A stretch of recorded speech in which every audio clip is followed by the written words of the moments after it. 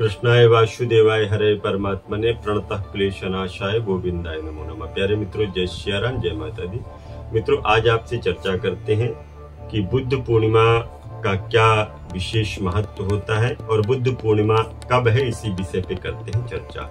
तो सबसे पहले हम आपको बताएँ कि 5 मई शुक्रवार 2023 को बुद्ध पूर्णिमा है और बुद्ध पूर्णिमा को भगवान बुद्ध का जन्म महोत्सव मनाया जाता है, जन्मदिन मनाया जाता है। इस बार वैशाख पूर्णिमा बेहद महत्वपूर्ण होने जा रही है, क्योंकि वैशाख पूर्णिमा के दिन भगवान बुद्ध का प्राकट्य हुआ है, जो बुद्ध पूर्णिमा के नाम से भी जाना जाता है। इस दिन लक्ष्मी नारायण की पूजा की जाती है, चंद्रदेव की पूजा की जाती है इस दिन दान देने का विशेष महत्व भी बताया गया है।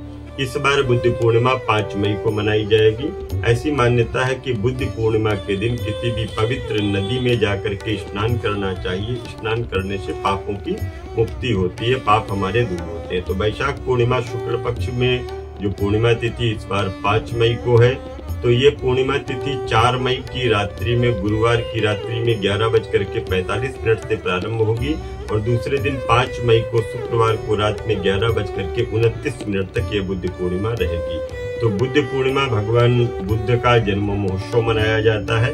मान्यताओं के अनुसार भगवान बुद्ध को बोध गया में बोधि वृक्ष के नीचे आत्मज्ञान की प्राप्ति हुई थी।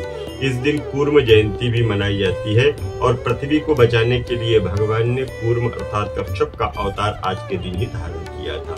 तो मित्रों, हमने आपको बताया बुद्ध पूर्णिमा का महत्व और बुद्ध पूर्णिमा कब से कब तक है, इस विषय पे चर्चा की आपसे। तो मित्रों, अगर आप चाहते हैं किसी भी प्रकार का कोई भी पूजन, पाठ या अनुष्ठान महामृत्युंजय मंत्र का जप, गृह प्रवेश, गंडमूल शांति, काल सर्पदोष की शांति, या आपके अपने प्रतिष्ठान में व्यापार वृद्धि के लिए यंत्र की स्थापना तो अवश्य हमसे संपर्क करेंगे। पुनः मिलूँगा एक नए वीडियो में।